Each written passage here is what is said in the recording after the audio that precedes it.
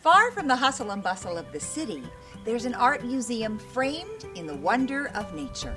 Located right next door to the Edwin B. Forsyth National Wildlife Refuge, the Noyes Museum of Art shares acres of woods, water, and wildlife.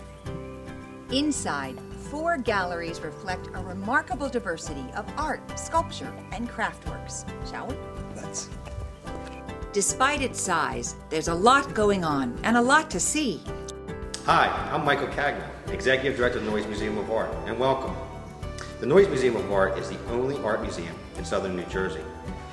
The Noyes Museum facilitates artistic growth for New Jersey artists. We look at both professional and emerging artists. We want to cultivate collectors, patrons, all art lovers. We are very proud of our diversity in our exhibits at the Noyes Museum of Art.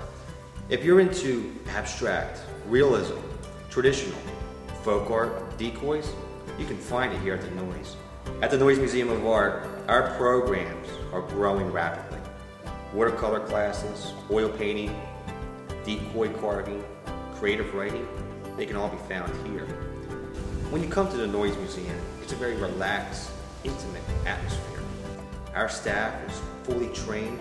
They will walk you through each gallery so you can enjoy and have the wonderful creative aesthetic experience. We are open all year round at the Noyes Museum. Join us. You're not just a patron, you're a guest. Man's art inside, nature's art outside. It's a win win for patrons of all ages. It's this magical blend of beauty that puts the Noyes Museum of Art on our shore watch this week. See you next time. Bye.